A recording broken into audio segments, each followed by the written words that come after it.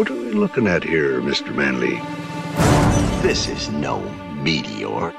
This is something much more serious. Invaders from Mars. Hey there, Scout. Kent Mansley, you work for the government. I have something for you. Where did you find that? Up at the power station. Hogarth was out there the other night.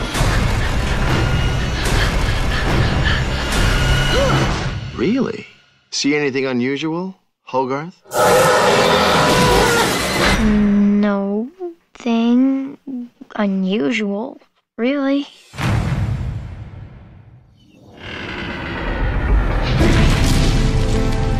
So, I guess you're not gonna hurt me, huh?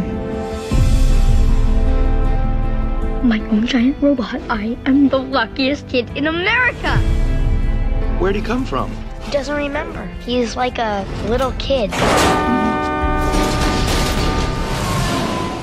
Little, yeah.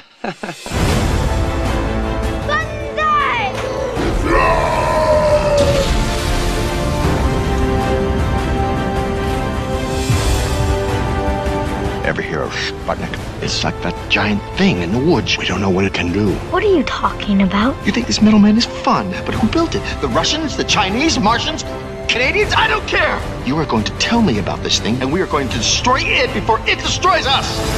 We gotta show them you're good. You are what you choose to be. I'm Superman. We must stop it at all costs. Let's get out of here! Run! Ready the attack?